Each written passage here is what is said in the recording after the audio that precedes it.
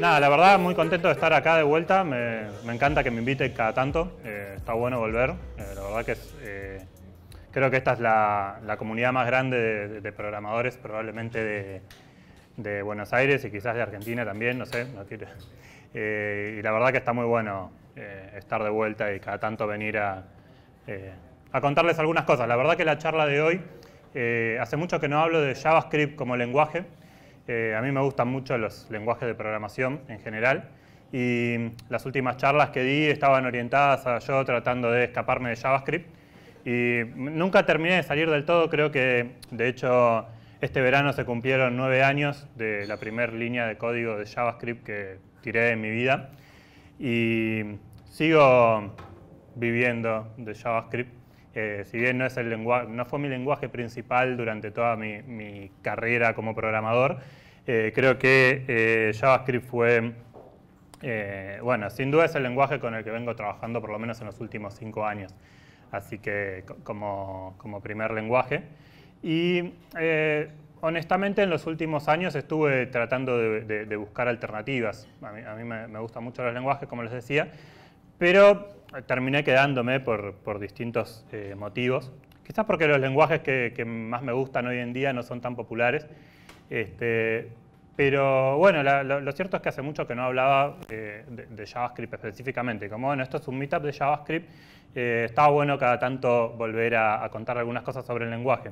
Y particularmente la charla de hoy es algo que tiene que ver con, eh, podemos decir, con la personalidad de JavaScript como, como lenguaje. Cómo tratar de analizar un poco, es una charla un poco más reflexiva, si quieren no vamos a ver o hablar de tanto código, sino alguna cosa más introspectiva de nosotros como comunidad y como lenguaje, como programadores, eh, qué es lo que, eh, más o menos, repasar un poco de dónde venimos como tecnología, está bueno conocerse, y eh, tratar de plantear un poco algunas dudas de hacia dónde estamos yendo. Así que vamos a ver de, qué se trata. Bueno, para los que no me conocen, que calculo que en realidad son varios, este, les cuento, me llamo todo eso, Ainú Jorge Jambó Helguera. Para los amigos, eh, soy Ainú. En las redes sociales, AJ Jambó, la más importante es Twitter, eh, que es la que uso para trato en general de hablar solo de tecnología eh, no me busquen en otras redes porque puede ser un poco más aburrido probablemente. Em, trabajo en una startup que se llama Worket. Em, no voy a tirar muchos chivos al respecto, pero bueno, es una startup eh, argentina del, área de recursos humanos. Y eh, en eso lo que estoy haciendo en esta empresa es liderar el equipo de desarrollo frontend. Eh, así que, bueno, eso es todo sobre mí. Un poco de, qué vamos a hablar hoy, cuál es la idea de, esta charla. Vamos a repasar brevemente la parte de los orígenes del lenguaje. A mí me gustan mucho las historias en general y mi forma de aproximarme a la tecnología no es la más tradicional. Quizás cuando no solo la tecnología, sino cualquier cosa. A mí cuando me muestran, a mí me gusta mucho la música, por ejemplo, cuando me muestran eh, una banda nueva o una canción, yo lo primero que hago es abrir Wikipedia y buscar qué estoy escuchando y de qué año es. Son las dos cosas que siempre es más importante. País, año, eh, eso respecto de la música. Como, no, si no, no puedo escucharlo. Y leo el artículo de Wikipedia, después escucho la canción. Y lo mismo con los lenguajes de, programación en general. Entonces, siempre me, gusta un poco indagar en las historias, pero no en la historia, digamos, este, fáctica de las cosas que pasaron, sino que particularmente lo que más me interesa son las personas involucradas y la intencionalidad de esas personas cuando estaban creando tecnología. Es por eso que, eh, bueno, estoy mucho en Twitter, discusiones en GitHub. Eh, es mi forma de, digamos, de introducirme y de, meterme eh, en, la tecnología, en los lenguajes de programación, en las librerías, en todo. Eh, entonces, un poco lo que vamos a repasar es, eh, muy poquito, brevemente, los orígenes del lenguaje, sobre todo la parte interesante para la charla. vamos a discutir un poco qué tipo de lenguaje es JavaScript en cuanto a paradigmas de programación, cuál es nuestra personalidad como lenguaje de programación.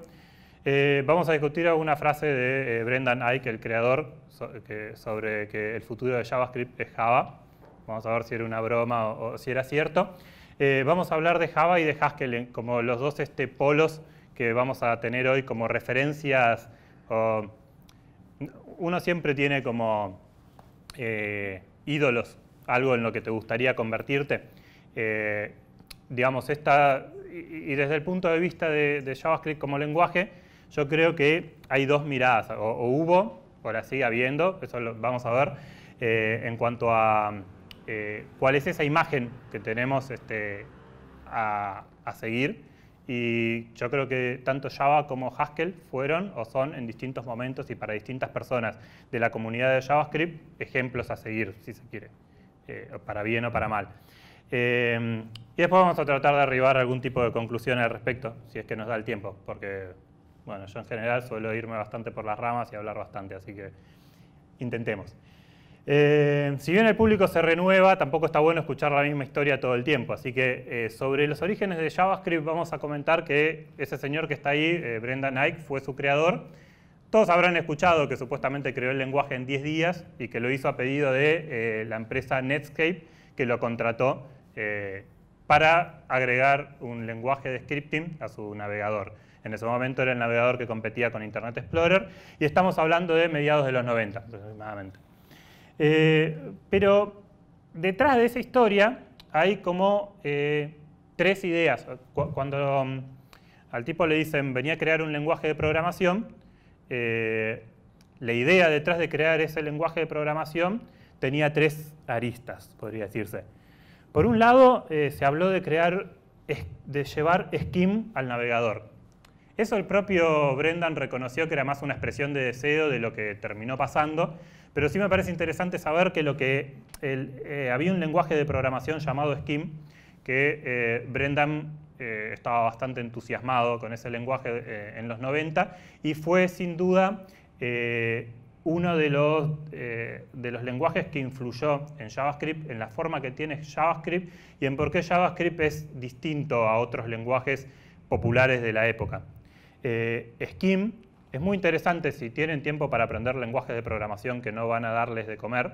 Eh, eh, Scheme es un, eh, es un lindo lenguaje para aprender. Yo la verdad todavía lo tengo pendiente, he visto muy poco, pero es de la familia Lisp, que también es la familia de lenguajes que yo probablemente menos domino. Pero, pero está bueno porque hay un montón de cosas de ahí que después se fueron metiendo en otros lenguajes de programación, así que está bueno saberlo. Eh, honestamente, de ahí eh, muy poco fue a JavaScript, sin embargo hay algunas cosas que sí persistieron, eh, que después vamos a ver. Pero reconocemos, bueno, Scheme for the Browser, una de, las, de, estas tres ideas con las que JavaScript se crea. Otra idea que seguramente habrán escuchado es el pequeño hermano de Java, un poco de código Java para asustar. Eh, eh, sobre esto, en realidad, eh, JavaScript, como hermano menor de Java, es en el momento en el que a Brendan lo contratan, había algún tipo de partnership con la empresa Sun Microsystem, que es la que había creado Java. Y eh, estaba la duda en la propia empresa de si teniendo eh, Java era necesario o no eh, crear otro lenguaje. ¿Por qué no usar directamente Java si ya estaba, era disponible, era una plataforma estable, popular? y entonces, el por qué no meter directamente Java en el navegador quizás es porque era una tecnología demasiado compleja para el propósito, el motivo por el cual se estaba tratando de introducir un lenguaje en el browser. Sin embargo, por motivos, eh, creo que la idea de, tanto el nombre como la sintaxis que fueron tomadas para hacer familiar a los programadores Java fue un motivo eh, específicamente comercial. La idea era eh, presentarlo comercialmente como un hermano menor de Java. Y la otra cosa que se escuchaba era que era un competidor de Visual Basic. En ese momento Microsoft estaba tratando de impulsar eh, era la época de la guerra de los navegadores, o la primera, digamos, etapa entre eh, Internet Explorer y Netscape, y Internet Explorer estaba metiendo Visual Basic Script, o empezando a introducir Visual Basic Script en el navegador, entonces la idea era que eh, Netscape también tenga un lenguaje de scripting. Ahora, otra de las frases que se escuchó en esa época era que es como Basic, pero con la sintaxis de Java esa idea. Y hay algunas cosas que sí tiene de Basic eh, JavaScript, no sé si de Visual Basic específicamente, pero bueno, era un lenguaje imperativo de scripting, eh, algo rápido para, hacer este, eh, para acompañar el desarrollo de, una página web como la web entendida como se entendía en los 90. Eh, entonces, estas tres, digamos, este, patas, por así decirlo, son las, eh, los cimientos, si se quiere, de, cómo nace JavaScript y está bueno tenerlos en mente porque explican eh, cosas que, vienen después sobre, sobre el lenguaje o dudas o cosas que, pueden aparecer cuando tratamos de entender qué es JavaScript como tecnología. y después de, todo de estas tres situaciones, de estas tres situaciones se desprende eh, la idea de que JavaScript era un lenguaje para principiantes o para no programadores. ¿Por qué? Porque la web en los 90 era un lenguaje para agregar un browser y para eh, correr en una página web y no se esperaba lo mismo de la web en los 90 que lo que se espera hoy en día. Para que la web se transforme en una plataforma de desarrollo de aplicaciones pasó bastante tiempo.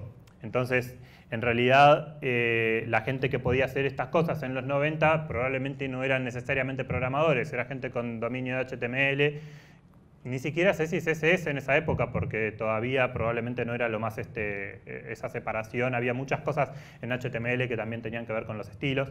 Eh, no quiero hablar demasiado de esto porque no lo tengo tan claro y está Eva que seguro conoce esta parte de la historia mucho mejor, pero la, idea es que era un lenguaje que podía ser accesible para personas que no eran profesionales del desarrollo de sistemas. Ese es el, punto. Entonces, así nace JavaScript. Ahora, eh, el punto con eso es que tenemos que entender que si aceptamos que JavaScript no nace como un lenguaje para profesionales de software, pero después la web se espera que se transforme con, la evolución de la web natural en una plataforma de aplicaciones, el lenguaje también va a evolucionar porque de repente eh, tiene nuevos desafíos, no solo correr una página web, sino por ahí correr un sistema complejo. Entonces, es esperable para todo desarrollador que el sistema evolucione. Eh, con el tiempo, eh, en realidad un poco la pregunta de esta charla es qué significa evolucionar como, como lenguaje de programación y como plataforma. ¿Hacia dónde se espera, que o hacia dónde se esperaba y, hacia dónde se sigue esperando que el lenguaje evolucione? Y un poco sobre esa idea, eh, creo que todos los que apostaron a la web esperaban que eso suceda. Eh, creo que eh, Brendan en un momento comentó que mientras estaban haciendo el lenguaje también tenían el temor de que en algún momento Microsoft termine comprando Netscape, el lenguaje quede en el olvido. Pero eso no pasó, la web terminó siendo una plataforma importante y era esperable que el lenguaje se convirtiera en algo más de lo que de lo que fue en sus orígenes. Para entender en qué se puede llegar a convertir JavaScript, eh, otra pregunta que tenemos que hacernos es qué tipo de lenguaje es realmente. Sobre esto entonces vamos, cuando digo qué tipo de lenguaje me refiero a cuál es la filosofía del lenguaje, qué podemos esperar de JavaScript en cuanto a paradigmas de lenguajes de programación. Y acá entonces vamos a encontrar que eh, eh, JavaScript tiene una naturaleza bastante eh, múltiple. Podemos decir que es un lenguaje eh, de personalidades múltiples, un lenguaje sin personalidad o un lenguaje, sí, con muchas personalidades, como quieran interpretarlo. tiene una naturaleza imperativa que está dada, y, ahí es como su, digamos, su, conexión con Basic, si se, si se quiere. El lenguaje tiene statements, vieron que JavaScript tiene statements y expressions. vamos ahora seguidamente a discutir qué son las expressions, pero los statements son eh, cualquier cosa que interviene en el control de flujo de la aplicación de forma directa. Eh, tenemos las estructuras de control, if, while, for, todas esas cosas el lenguaje las tiene. Y además tiene estructuras de datos mutables, por ejemplo, vos podés crear un array vacío y después ir agregándole cosas en caliente, modificando la memoria del programa de forma imperativa. A eso se, refiere con que los datos son mutables. Entonces tiene todas estas características de los lenguajes imperativos. Después tenemos también una naturaleza funcional. Eh, tenemos desde, no desde el primer día, digamos, pero, no, es que la primera versión de JavaScript ya tenía closure, es importante mencionarlo por, el tema ese de que decíamos, bueno, es skim para el navegador, no, es una exageración decir que, era skim para, para el browser. Pero sí, al estar eso en la idea, las cosas fueron, e, e, estas características del lenguaje de programación funcional fueron decantando en el lenguaje y fueron afectando también la personalidad de, JavaScript como lenguaje, como ser closures, lambda functions y eh, tener funciones así, eh, como objetos de primera clase. ¿Qué significa eso? Básicamente, bueno, JavaScript también tiene expressions, pero no es un lenguaje puramente de expresiones. Una expresión es cualquier cosa que puede ser reemplazada por un valor. O si lo quieren, para, para no hacerlo tan complejo, cualquier cosa que le puedan pasar como parámetros, cualquier bloque de código se pueda pasar como parámetro una función. No sé, no pueden meter, por ejemplo, un for dentro de, un, de parámetros, pero sí pueden poner un ternario, eh, cualquier tipo de cálculo. Hay lenguajes que solo trabajan con expressions. Después, este, eh, la idea de, las, sobre todo la parte de funciones como objetos de primera clase, ustedes están acostumbrados desde la primera línea que tiran de JavaScript a, pasar callbacks, como a pasar funciones como parámetros a otras funciones. Eso es una característica de los lenguajes funcionales que a los lenguajes mainstream les llevó bastante tiempo incorporar. Ejemplos son PHP, Java, que son lenguajes que tardaron bastante en incorporar funciones lambda y JavaScript las tenía desde sus orígenes. Pero por otro lado, JavaScript también tiene una naturaleza orientada a objetos. Si bien no eh, el paradigma tradicional, porque eh, JavaScript está basado en prototypes, o sea, tiene objetos sin clases, podría decirse. Eh, y a partir de ECMAScript 6 se, agregó, se agregaron las clases como un Sugar Syntax sobre los prototypes. Prototypes es un mecanismo distinto de hacer programación orientada a objetos, pero con el mismo, la misma finalidad, que es eh, una de las claves del paradigma de objetos es encapsular eh, estructuras de datos con funcionalidad o eh, métodos que operan sobre esas estructuras en un solo objeto. JavaScript soporta eso a través de los prototipes desde la primera versión.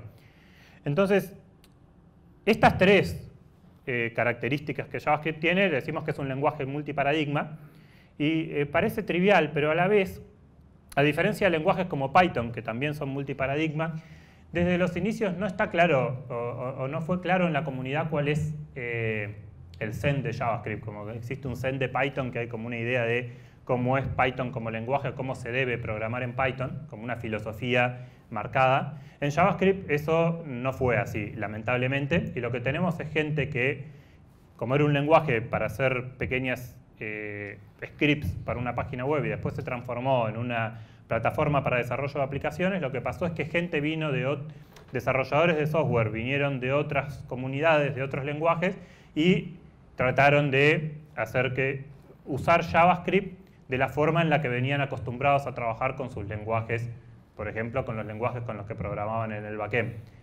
Eso llevó, y junto con la versatilidad del lenguaje, a, lo que, a que tengamos eh, un lenguaje que tiene esto que yo les comentaba al principio, de personalidades múltiples. Cuando vos vas a trabajar y te dicen, che, necesitamos programadores JavaScript, venía a trabajar a mi empresa que usamos JavaScript, no sabes a priori con qué te vas a encontrar. Eso, eso, es, un, eso es un tema. Entonces, pero de toda esta familia de gente que se sumó a la comunidad de JavaScript, una vez que JavaScript probó que podía ser ni siquiera sabemos que JavaScript ya estaba listo para hacer una plataforma, sino que la web demandara, demandaba que JavaScript se transformara en un lenguaje más profesional para hacer software. Y ahí yo detecto dos corrientes grandes. Eh, por un lado, toda la gente que venía del mundo de Java y de la programación orientada a objetos que entendía que eso era crecer y eso era eh, ser profesionales a la hora de hacer software. Hacer eh, software orientado a objetos y con un lenguaje de tipado estático. Y después tenemos a la gente que eh, en su momento Haskell venía más en la academia, pero después fue ganando adeptos. Toda la gente que viene de la programación funcional que detecta en JavaScript elementos de programación funcional y que quisiera que tuviera más. Y como el lenguaje es versátil, se lo permite. Entonces yo veo que estas dos vertientes van compitiendo en proyectos y en, lenguajes, en, lo que sería ser JavaScript idiomático a lo largo del tiempo. El, primero de los casos es, eh, yo recuerdo que em, en la, segunda JSConf, creo que fue la segunda que se hizo acá, en, que fue la primera a la que yo asistí, eh, estuvo eh, Brenda Nike y dijo esta frase en una charla, el futuro dio una charla sobre el futuro de JavaScript y dijo el futuro de JavaScript es Java. Y todos nos reímos. Eh, y bueno, como les decía, que Twitter es una parte importante de, digamos, de, mi aproximación al software.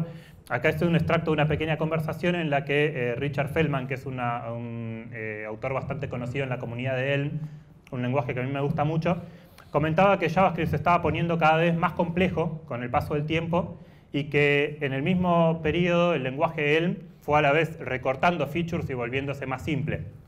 Eh, entonces, eh, yo ahí eh, comenté esto de que el futuro de JavaScript es Java, irónicamente, la frase que había dicho Brendan, pero Brendan se sumó a la conversación y dijo que no era una, no era una broma, sino que nos estaba divirtiendo, profetizando, digamos.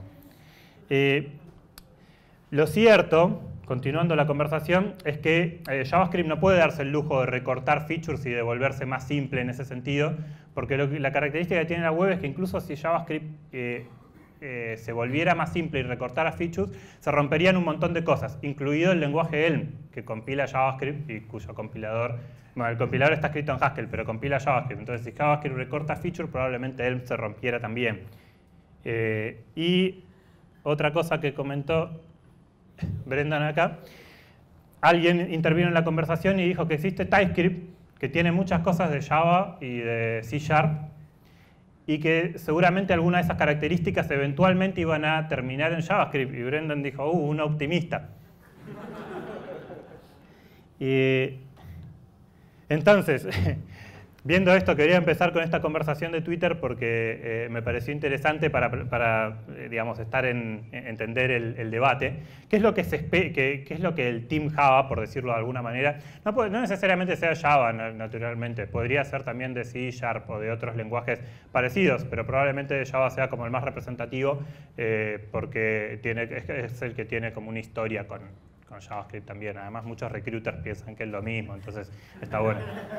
Eh, lo, que, lo, que busca buscan estas personas son types y mejor soporte para programación orientada a objetos, básicamente. Si preguntan a cualquiera, va a ir por ahí.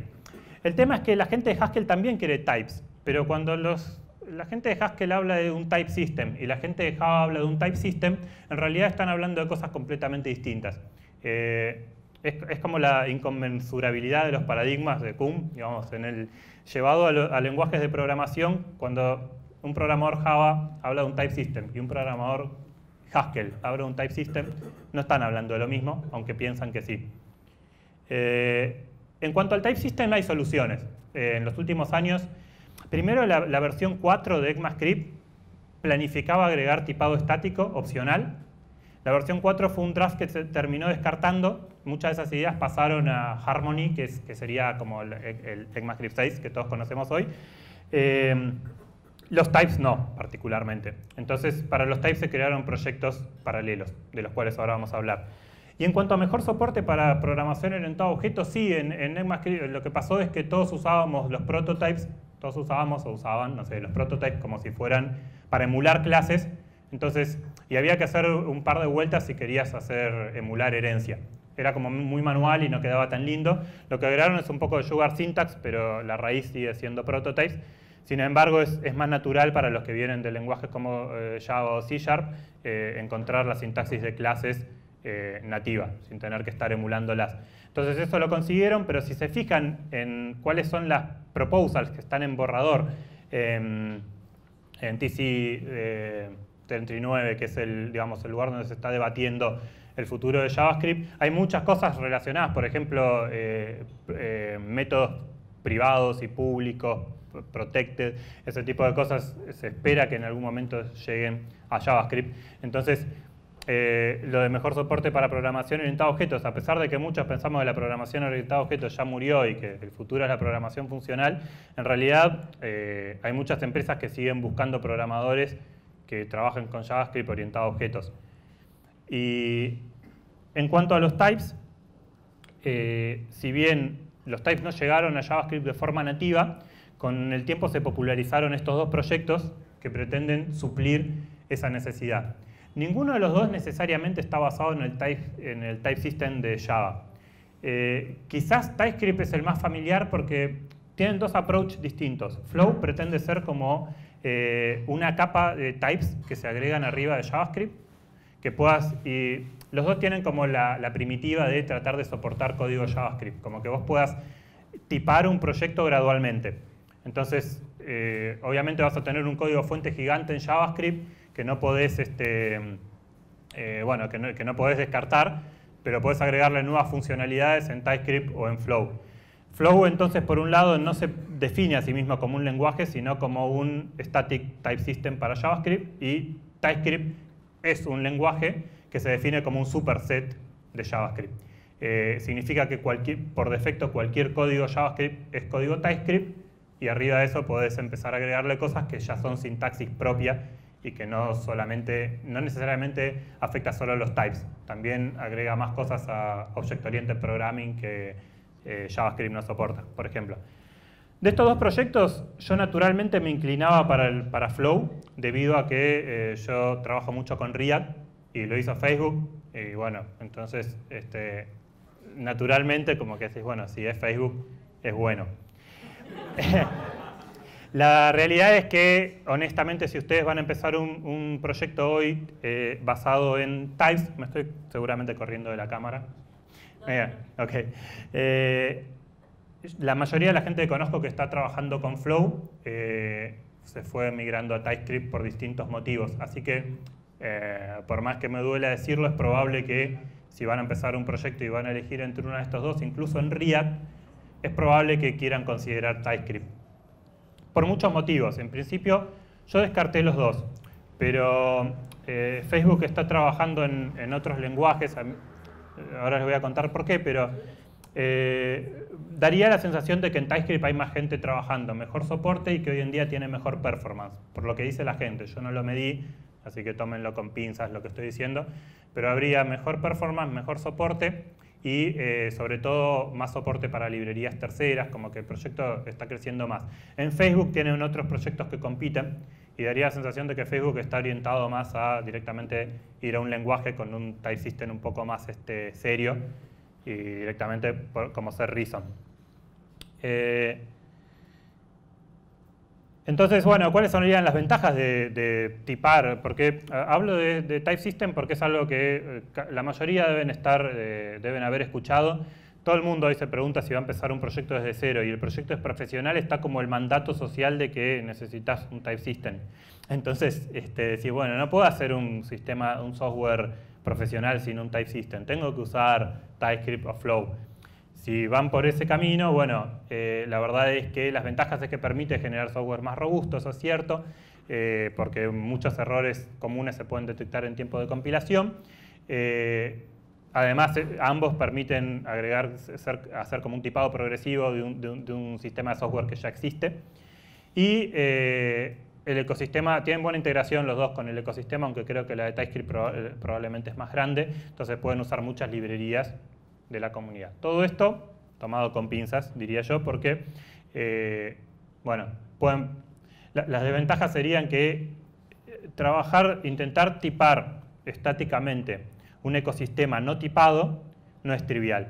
Hay muchas funciones, ustedes tienen, no sé, por ejemplo, eh, no hay ningún proyecto de JavaScript. El motivo por el que van a seguir usando JavaScript muy probablemente es por su ecosistema, que es gigante. Y además porque les gusta el lenguaje, ponele, me imagino, si no, no estarían acá. Pero este, el punto es que eh, un ecosistema no tipado no es simple de tipar por defecto.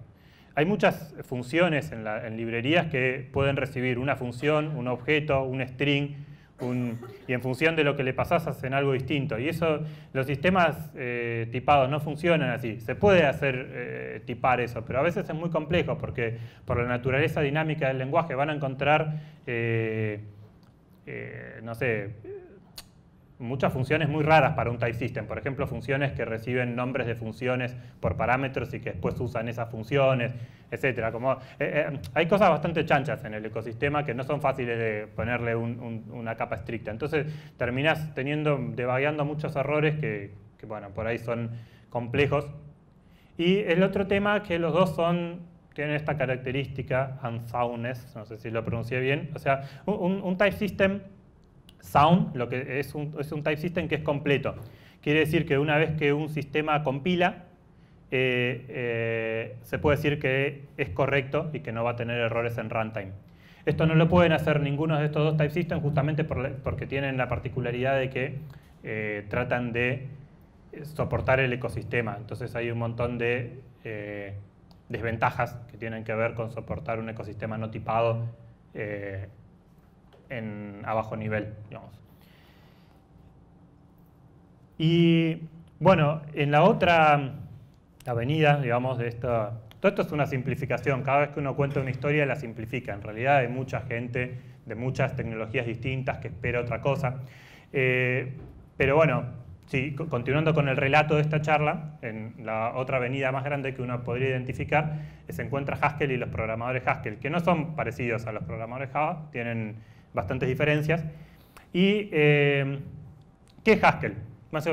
¿Todos conocen Haskell como lenguaje de programación? ¿Alguno, ¿Quién nunca escuchó hablar de Haskell hasta ahora? Es la primera vez que lo escucha. Bueno, Está bien, hay bastante gente. Haskell es, el, lenguaje de eh, es un lenguaje de programación funcional, podría decirse que el más puro de los que hay.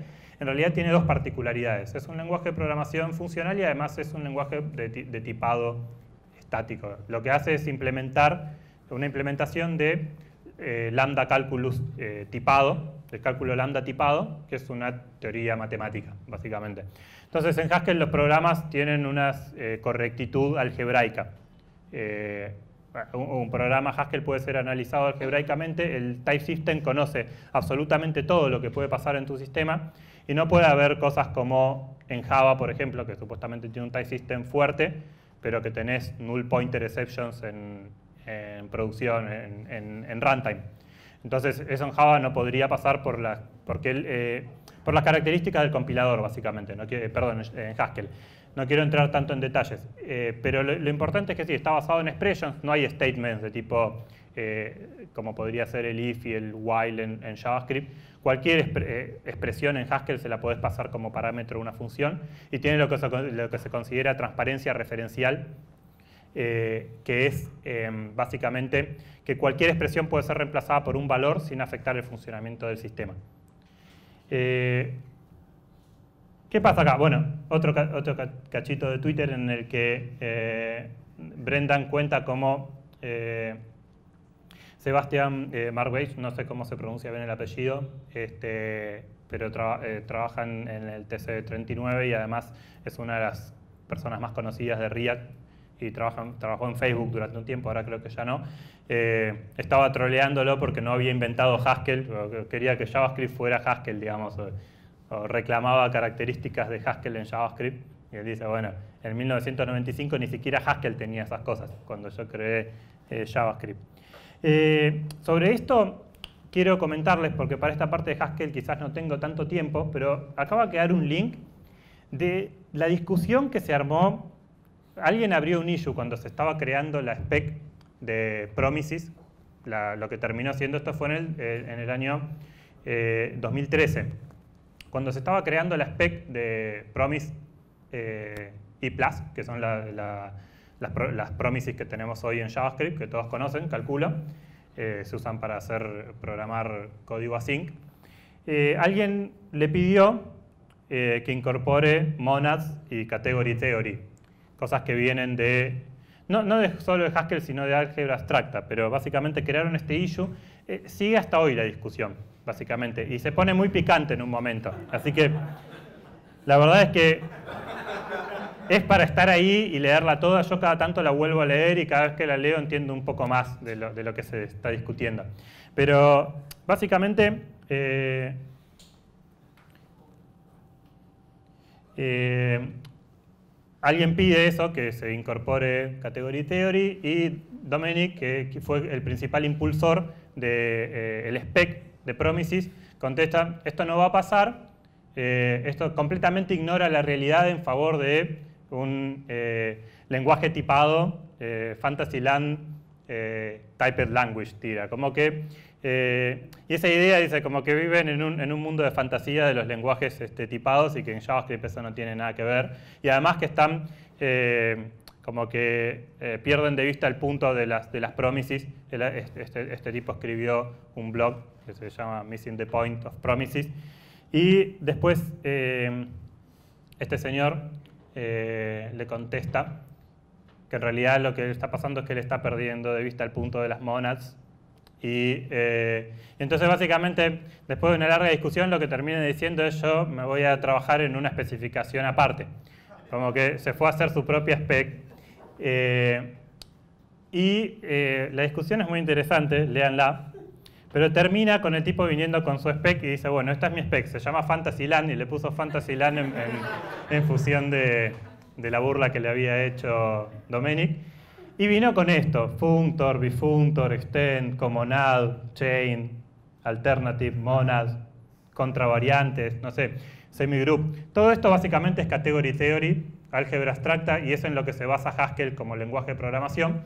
Pero básicamente lo que sirve, eh, lo que pretende Fantasyland es introducir un conjunto de primitivas para que distintas librerías de programación funcional para JavaScript puedan interoperar entre ellas, porque en realidad lo único que este tipo estaba reclamando es que las promises agreguen dos métodos y modifiquen algo para que se pueda escribir código más abstracto sobre promises. Básicamente, eh, que se pueda tratar a una promise de la misma forma que tratamos a un eh, array o a un eh, valor opcional.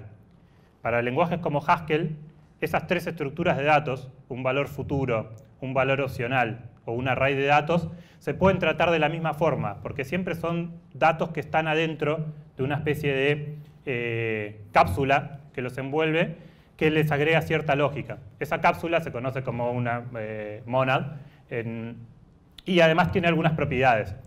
Básicamente no es que sea una cápsula al punto, sino que soporta ciertos métodos que estos tipos estaban pidiendo a Dominic que agregue esos métodos al spec de Promises porque iban a permitir que los programadores JavaScript escribiéramos código más abstracto. Eh, no pasó, el tipo viene e introduce esto. Si quieren saber más al respecto, les recomiendo este libro, Category Theory for Programmers, de Bartok Milesi, está muy bueno. Eh, es complejo, no les, voy a mentir. Mientras yo estudiaba todas estas cosas me di cuenta que si bien me gustaban mucho, era cada vez más difícil pretender que muchos programadores se metan y las estudien, lo cual es algo que a uno lo deja pensando, sobre todo a la hora de elegir tecnologías. Eh, pero fueron apareciendo varias librerías que eh, tomaron el spec de Fantasyland que él hizo, y bueno, algunas de esas librerías, la más conocida probablemente sea Ramda, que no es que toma el spec 100%, pero sí lo toma para muchas de sus primitivas como map, eh, algunas funciones para trabajar con arrays. Los que no conocen Ramda, creo que deberían, porque es una de las eh, librerías eh, más copadas que, se hicieron para JavaScript.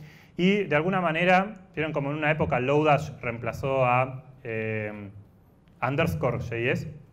¿Recuerdan esas dos librerías? Underscore, Lodash probablemente sí. Bueno, Ramda sería el reemplazo de Lodash. Polémico, pero sí, es el reemplazo no usen la Dash. Eh, y bueno, todas estas otras librerías fueron, librerías creadas en base al spec de, de, Fantasyland y son lo que yo diría como la crew Haskell de los programadores JavaScript, intentando hacer que JavaScript se parezca un poco a Haskell.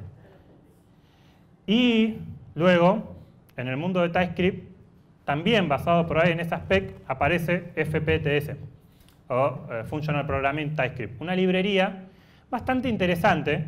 Yo como nunca fui muy adepto a TypeScript dije voy a empezar por acá, porque esto parece interesante, está bueno y de paso eh, sigo aprendiendo un poco más de estas cosas.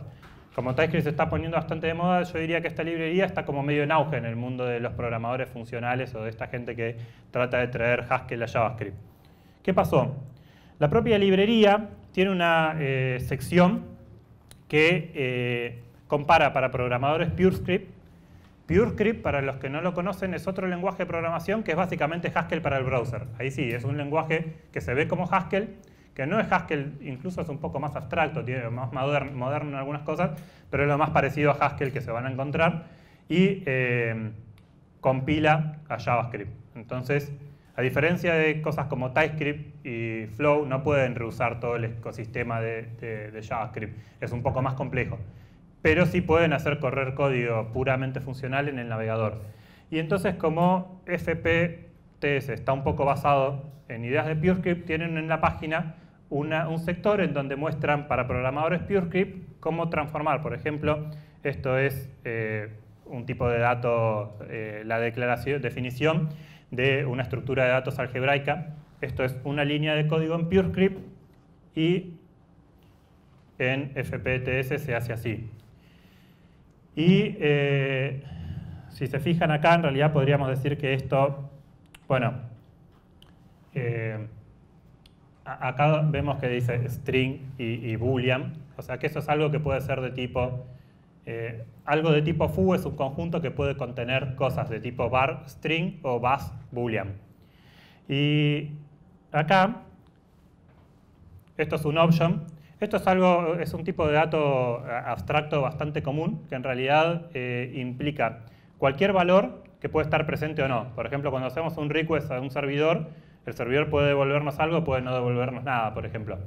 Eh, o cuando buscamos un dato eh, en un array, eh, cualquier valor que puede, cualquier cosa que puede existir o no existir, o que esté la posibilidad de que no exista, podemos resolverla con null, que dicen que es el error del, del trillón de dólares, porque es el error que más generó en runtime, en lenguajes de programación, o hay lenguajes que no existe la idea de null y existen estas estructuras de datos que si vos tenés algo que puede llegar a ser nuleable, en realidad tenés que ir a sacar el dato de adentro de una estructura. Así se escribe en PureScript y esto así se escribe en FPTS.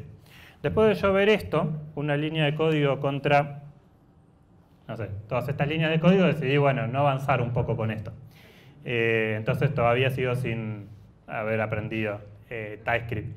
Yo les diría que si aprenden TypeScript, probablemente este no sea el lugar para, arrancar. Sobre todo si ya tuvieron cierta experiencia con, lenguajes de la familia ML como Haskell, PureScript o Elm.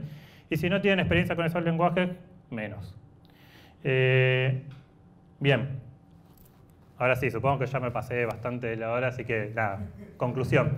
Eh, como programadores JavaScript se van a encontrar con todo esto de alguna forma u otra. Eh, van a encontrar que hay muchas, ahora ya pasó un poco de moda, pero en una época había muchas charlas sobre monads y cofunctors y esas cosas. Eh, y van a encontrar librerías que aplican estos conceptos y también van a encontrar este, muchas librerías que aplican conceptos de programación orientada a objetos. Eh, mi recomendación, bueno, primero es no desesperarse por estas cosas, tratar de tener el JavaScript lo más idiomático posible. yo diría que no es este, obligatorio para hacer un software profesional que tenga un tipado estático. Hay otros lenguajes funcionales como la familia Erlang o la familia Clojure que no tienen types y nadie se está quejando y hay mucho software escrito con eso. Eh, sin embargo, eh, si van a hacerlo, probablemente tengan dos caminos. Estaría bueno que prueben con algún lenguaje como Elm, introducirse en los conceptos funcionales puros para entender qué son y para qué sirven y después sacar ustedes sus propias conclusiones si vale la pena tratar de forzarlos en JavaScript o si les gustaron tanto que directamente prefieren hacer software en algún tipo de esos lenguajes. Y en el caso de, JavaScript simplemente aplicar los conceptos cuando, cuando se pueda. Eso es un poco, que no es una conclusión real. En realidad la conclusión real es que estaría bueno que ustedes aprendan un poco de Haskell. ¿Por qué digo Haskell? Porque Java seguro ya saben, la mayoría Java te lo enseñan en la universidad, de, te lo enseñan en, siempre que querés aprender programación, está Android, es como un lenguaje bastante mainstream y cálculo de programación orientada a objetos. Cualquiera que se dedica profesionalmente a software hace un par de años en algún momento se lo enseñaron, aunque no quisieran. Pero en el caso de la programación funcional todavía no es tan popular. Entonces está bueno aprender el paradigma para, para poder entender otras librerías que probablemente sí se encuentren. Porque React, Ramda, eh, son librerías que van a encontrar en trabajos, en lugares, van a encontrar en código fuente productivo y toman muchas ideas que vienen de la programación funcional, entonces este, está bueno aprenderlas. Eh, y bueno, creo que eso es todo. Muchas gracias.